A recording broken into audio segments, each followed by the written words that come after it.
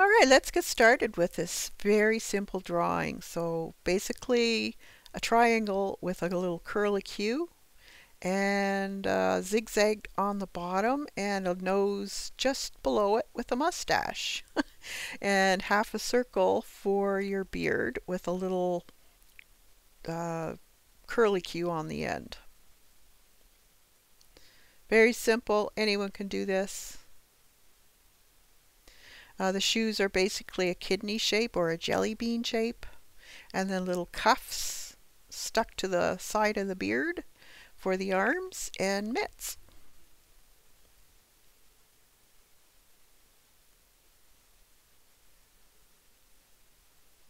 Uh, I'm going to have mine holding a candy cane and a little star hanging off of his hat.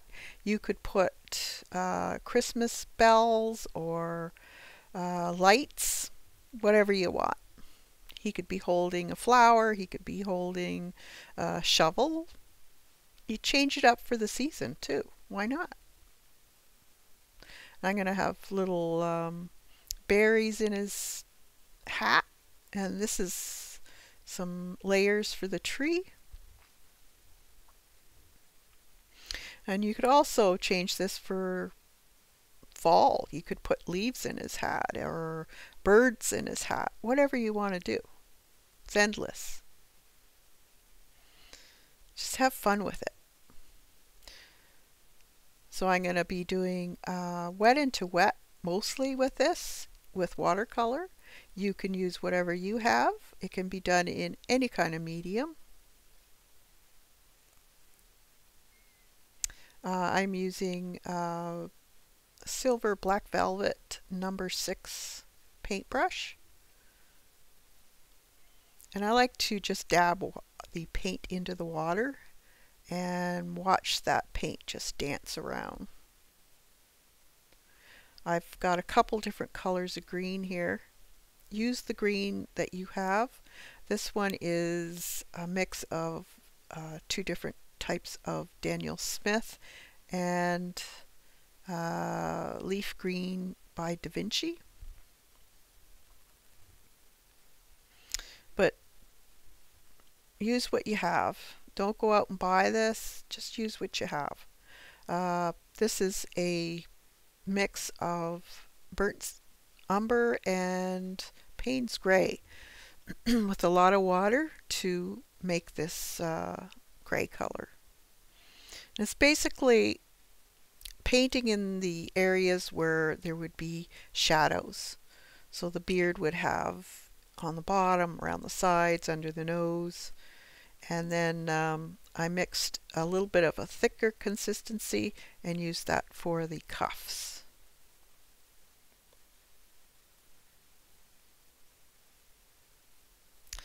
And the mitts, you can use whatever color you want.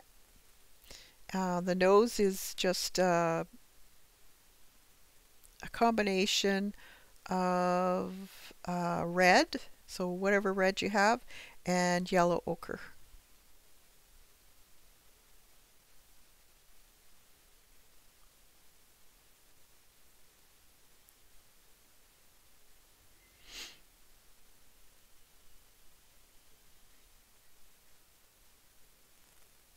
So I just used uh, kind of an aqua color. You could change yours up. You could have designs on yours.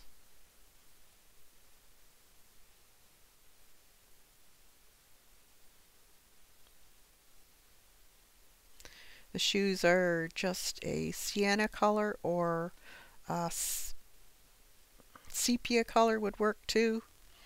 And I keep it fairly light with a fair amount of water in these paints just so that uh, I'm able to see the line work underneath.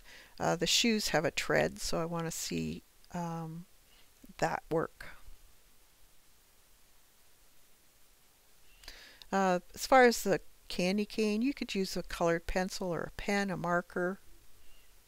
If you find it difficult making uh, really small marks, by all means, use what is easier for you A little bit of um, shimmer for the star in gold and then a darker consistency of that uh,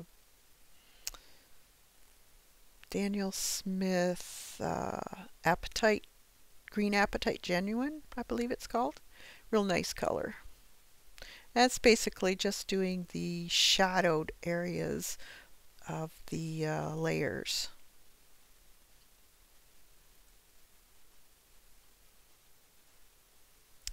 Little pen work. Make sure your paper is good and dry when you do the pen work.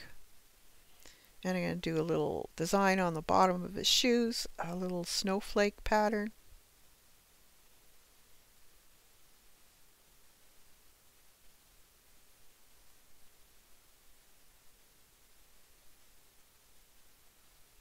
And then just basically use the pen work to emphasize areas like shadowed areas or if maybe if the gloves are too light they're kind of disappearing in the background just uh, do a little bit of outlining. It doesn't have to be a complete outline it could be sketchy looking too. Uh, play with it and see what you like to do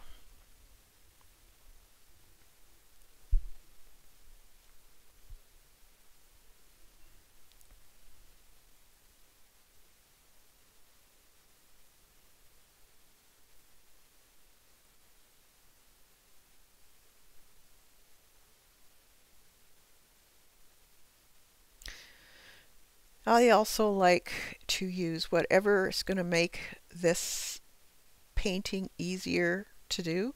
So because of the darker green in the hat, I end up getting a Posca marker. So it's an acrylic paint marker to use for the berries. So don't struggle with stuff if it's not working. Figure out what would go on it.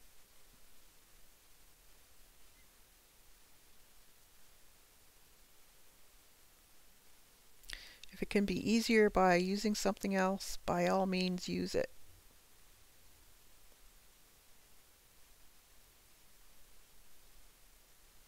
Now if you really don't want to draw this, I do have the drawing available for all my Patrons and my YouTube subscribers. So if you're interested in uh, seeing all the printables, you can check that out down below. There's a link, or I'll leave a link in the um, corner.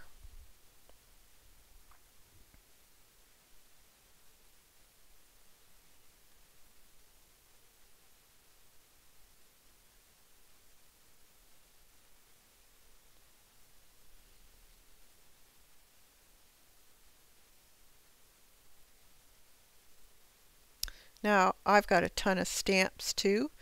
So I'm going to uh, find all my sentiment stamps and use this for my card. I don't like my handwriting, so I prefer using a stamp. But if you like your handwriting, then write something on it for the card face.